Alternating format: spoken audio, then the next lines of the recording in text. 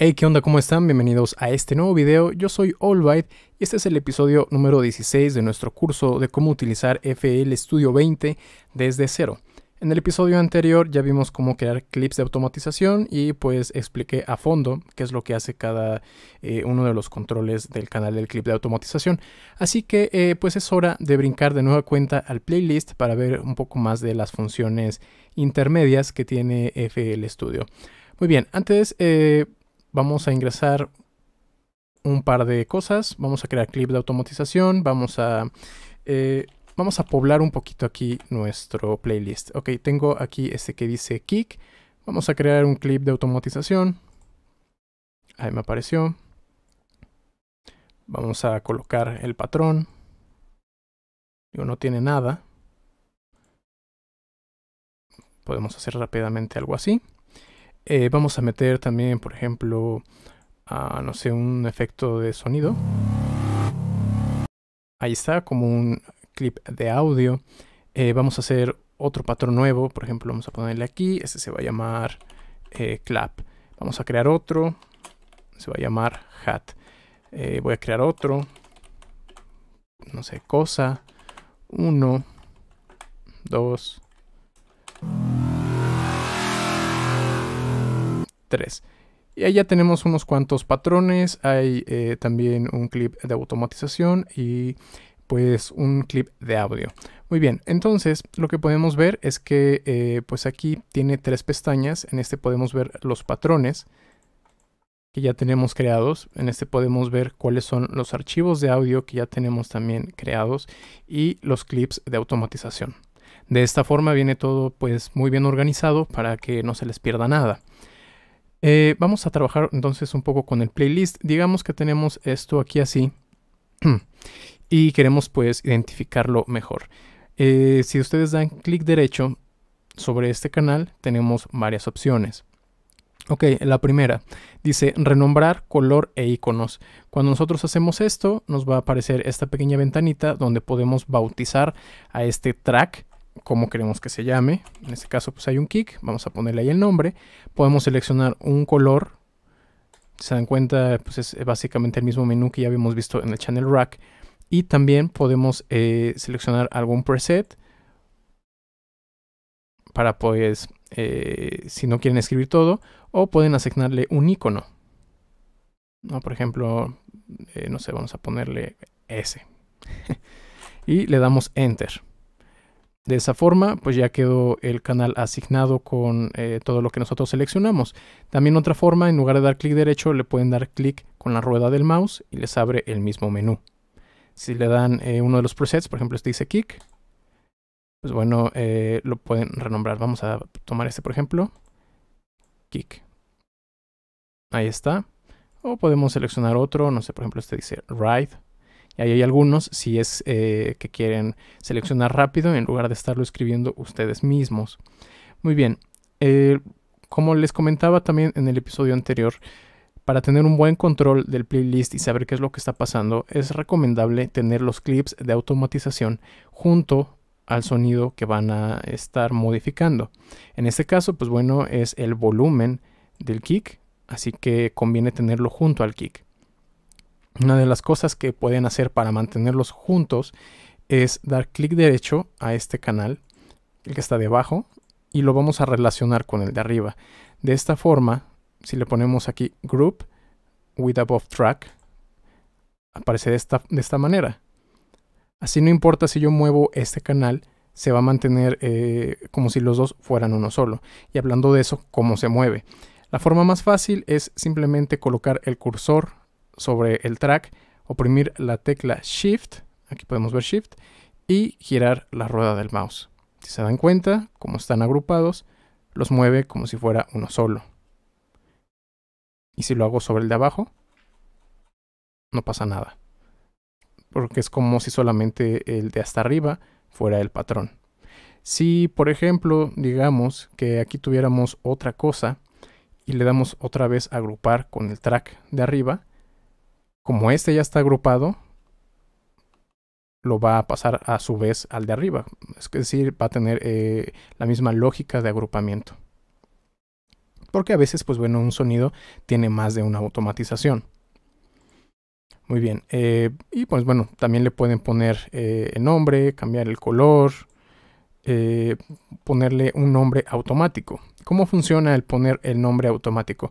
Esto es, va a leer qué es lo que está colocado sobre este track. Y de lo que haya más, es lo que le va a poner el nombre. Vamos a, ver, por ejemplo. Aquí tenemos, vamos a seleccionar este, por ejemplo, hat hat. Y este que dice cosa. Entonces tengo tres hats y un cosa.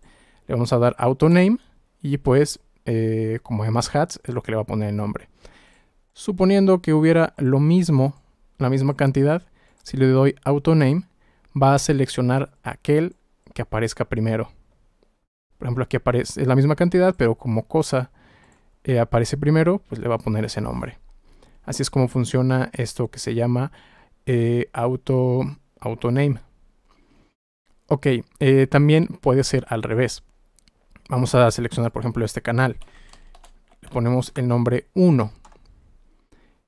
Y si yo coloco algo sobre este canal, puedo dar clic derecho y dice eh, Auto Name Clips. Es decir, esta vez va a ser al revés. En lugar de ponerle nombre al track dependiendo de lo que hay aquí, ahora lo que hay aquí le va a poner el nombre de lo que aparece en el track. De esa forma, ahora el archivo de, sonido se llama igual que el track. Y como este eh, pues es básicamente el mismo, era una copia, pues también cambió. ¿Cómo borro un canal? Digamos que hay un canal que ya no lo voy a utilizar o que necesito eh, hacer otra cosa con este. Le puedo dar clic derecho y aquí abajo dice delete. Les va a pedir que confirmen y va a borrar el canal junto con todo lo que haya en ese track. Aquí digamos que quiero meter otra cosa dentro de mi organización, pues bueno, le puedo dar clic derecho e insertar.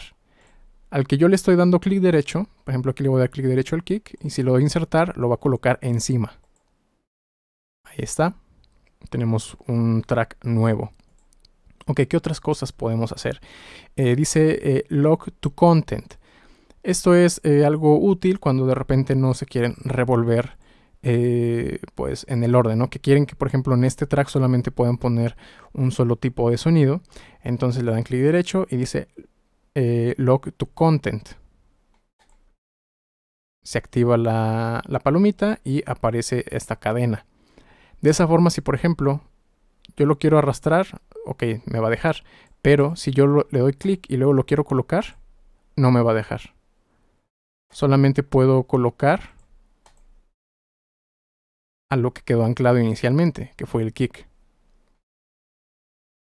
Y si le doy otra vez clic derecho y le quito la palomita, pues ya puedo eh, poner lo que yo quiera. Se vuelve un canal libre. Muy bien, ¿qué otras funciones tenemos? Eh, bueno, tenemos este que dice Performance Settings, pero este no lo vamos a brincar porque es para eh, ejecutar actos en vivo y en este momento pues sería irnos demasiado lejos. ok, tamaño, pues bueno, le podemos cambiar el tamaño a la celda. Pues para verlo como a nosotros nos convenga. También lo pueden hacer dando clic sobre los puntos y arrastrando arriba y abajo. Si por ejemplo aquí eh, tienen un patrón y el clip de automatización les estorba, pueden dar doble clic sobre los puntos y se va a minimizar o de plano si lo quieren desaparecer en el canal, el track eh, que tiene la relación, pueden dar clic sobre la flecha. Y solamente eh, pues esta misma flechita y aquí la esquina negra nos indica que ahí existe algo que está minimizado. Esto solo aparece cuando hay tracks relacionados o agrupados. Ahí de esa forma. Muy bien, ¿qué otras opciones tenemos? Eh, tenemos también este que dice pues, cuál es la fuente. Por ejemplo, pues aquí solamente eh, hay el clip de automatización y es básicamente lo mismo que si selecciono algo de aquí arriba y le doy clic. Por ejemplo, digamos que tengo aquí tres claps, este que dice cosa, un 1. Entonces yo doy clic derecho y en las fuentes puedo seleccionar todo lo que hay en ese track. Ok, luego también tenemos eh, esta otra opción que dice Merge Pattern. Vamos a ver qué es lo que hace. Muy bien, en el patrón de clap vamos a hacer pues un patrón pequeño.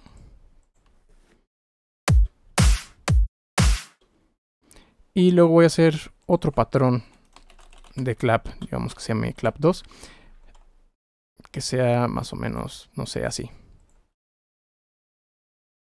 Entonces tengo clap y clap 2.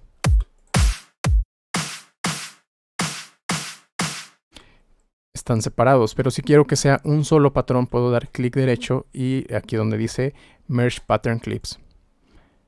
Aparece un patrón nuevo y pues es básicamente la fusión de los dos que ya tenía. Que era así y así. Ahí lo pueden ver. Es básicamente lo mismo.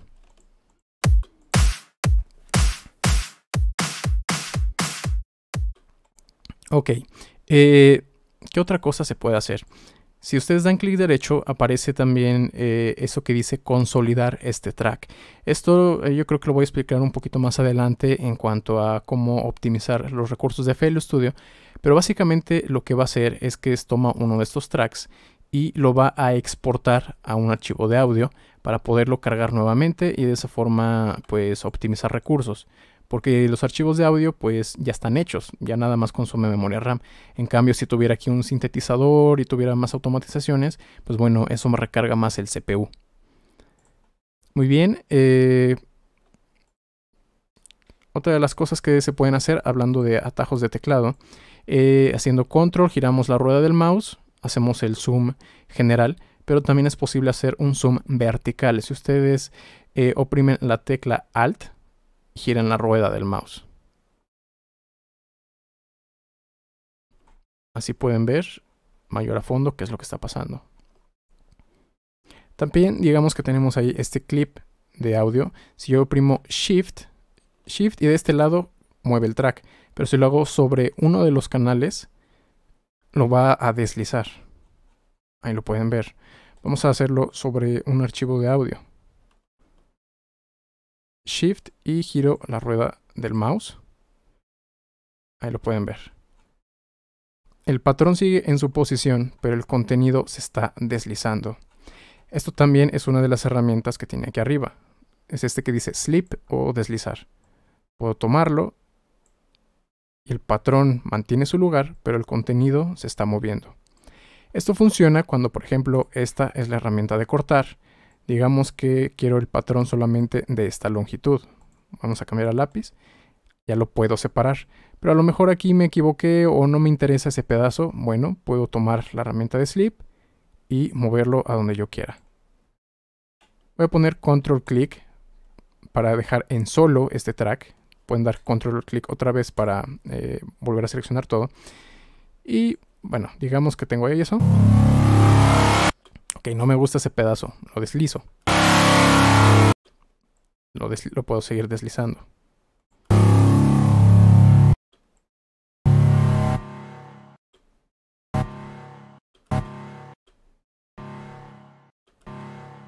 Ahí, por ejemplo, ahí me puedo quedar con eso, si es lo que me interesa.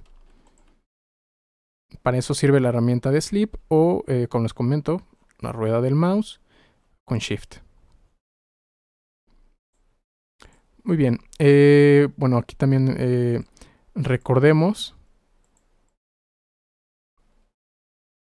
de los tutoriales anteriores, eh, cuando hicimos el time stretch, cuando estoy seleccionando aquí, pues en esta pestaña, el archivo de audio, aparecen sus dos opciones, stretch y zero cross. Si sale stretch, en lugar de acortarlo, como si fuera un patrón, pues lo va a estar encogiendo y estirando. Esto lo puedo hacer con eh, los patrones. Pero por ejemplo, digamos que este patrón son cuatro kicks. Nada más quiero dos. Puedo recortarlo así de esta forma. Y solamente van a reproducirse dos.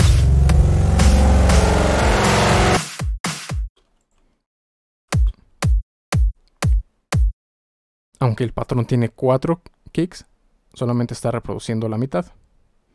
O incluso lo puedo hacer al revés. Puedo recortar desde el lado izquierdo y reproducir las últimas dos.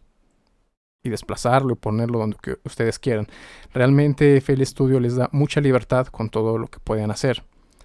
Eh, si tienen pues varias cosas amontonadas, de repente puede pasar algo como esto, ¿no? Eh, y ustedes quieren pues, dar clic aquí sobre algo, vamos a hacerlo todavía más complicado, así, que tengan la misma longitud. Pero yo quiero el archivo de audio, bueno, aquí me eh, puedo cambiar para que resalte los archivos de audio. Y ahí está.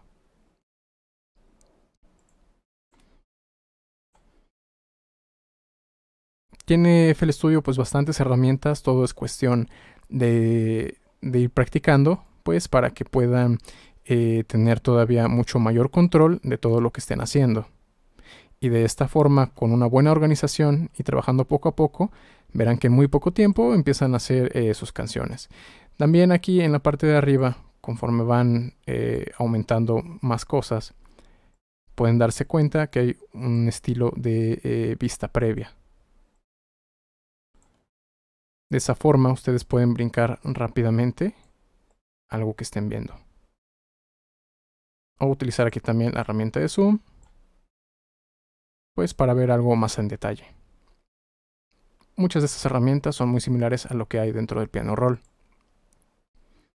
Si quieren restablecer todo a su tamaño original, por ejemplo tengo esto aquí así, y este así, y este pequeño, nos vamos en la parte de aquí arriba que es donde se cambia pues el tamaño y damos clic con la rueda del mouse para poder eh, restablecer al tamaño que te da por default. Son algunas de las opciones que tiene.